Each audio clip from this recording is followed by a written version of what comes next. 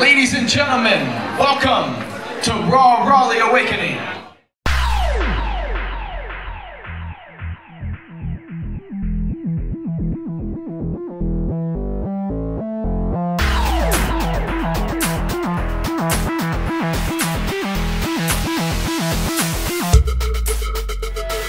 Hi, I'm Zaharoula and I am a photographer.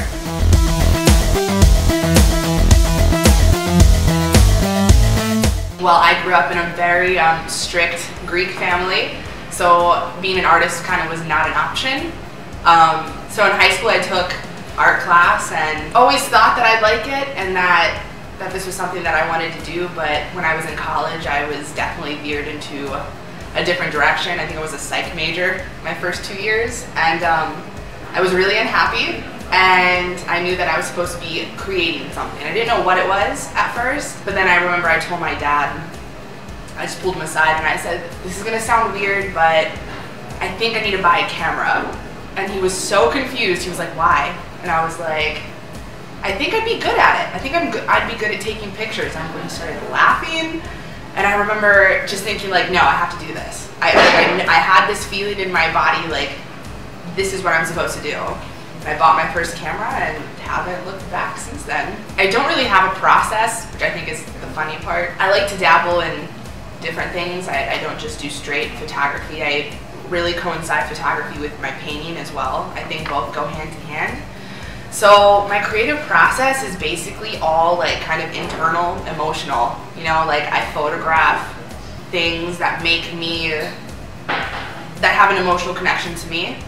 And when I paint, I usually pick up my paints and canvas on days where I just not, you know, just not feeling, not feeling it. And it always kind of gets me out of that funk. So it's kind of funny when I see my, my work up because it's like a walk down kind of memory lane. It's like, oh, I remember I felt like crap that day. Look what happened. So my process is definitely totally internal, emotional, like just what's what's going on in my brain that day is kind of what I try to create. Honestly, I just want to keep having these adventures. Like I find like when my art I think is totally fueled by the need for me to like get out there and do things I haven't done before. So my goal is to keep doing that, to keep going to places I haven't been and meeting people who I've never met before. I think that is the drive of the whole journey. Like there's a beginning to this journey, but the thing about what we do as a collective is that there is no end. Like you literally push as far as you want to take it, which is I mean, how do you not want to be a part of that? You can get more information about me and my work at rawartist.org slash Zaharoula. I'm Zaharoula and I'm a raw artist.